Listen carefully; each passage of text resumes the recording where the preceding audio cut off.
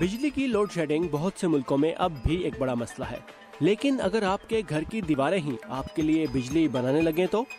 برطانیہ کی company blood solar ایک ایسی ٹیکنالوجی پر کام کر رہی ہے جس کی مدد سے عمارتوں پر پڑنے والی سورج کی روشنی کو توانائی میں بدلا جا سکے گا، اور وہ بھی سولر پینلز کے بغیر۔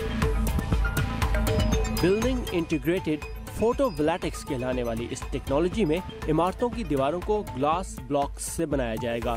ہر بلاک میں سورج کی روشنی کو بجلی میں بدلنے والے تیرہ سولر سیلز لگے ہوں گے جس سے نہ صرف عمارت کو بجلی فراہم ہو سکے گی بلکہ وہاں الیکٹرک گاڑیوں کو چارج بھی کیا جا سکے گا اور اس بجلی کو سٹور بھی کیا جا سکے گا۔ ہم نے یہ کیا ہے کہ چھوٹے سائز کے سولر سیلز کو ان شیشے کی سلوں میں لگایا ہے اور پھر ایسے عدسے لگائے ہیں جو سورج کی روشنی کو ان سولر سیلز پر پورا دن فوکس کرتے ہیں۔ ایسا کرنے سے ہم ان سولر سیلز سے بجلی پیدا کرتے ہیں۔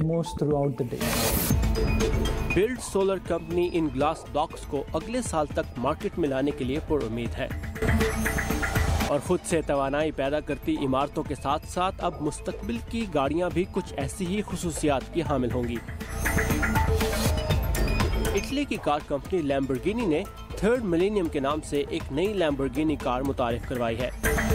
دلکش ڈیزائن اور انتہائی طاقتور الیکٹرک انجن کے ساتھ ساتھ اس گاڑی کے ہر ٹائر میں بھی ایک الیکٹرک موٹر نصب ہے، جبکہ سب سے حیران کن فیچر ہے سیلف ہیلنگ پروسیس یعنی گاڑی کی کاربن فائبر سے بنی باڈی کو پہنچنے والے کسی بھی نقصان کی صورت میں گاڑی خود سے اس کا اندازہ کر کے اس کی مرمت بھی خود ہی کرے گی۔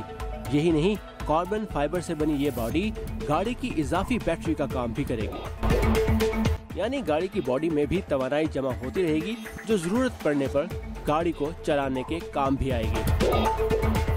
سپر کار کہلائی جانے والی مستقبل کی یہ گاڑی اگلے چند برسوں میں سڑکوں پر دوڑتی نظر آئے گی اور اس کے کچھ فیچرز آئندہ آنے والی لیمبرگینی گاڑیوں میں نظر آنے شروع ہو جائیں گے۔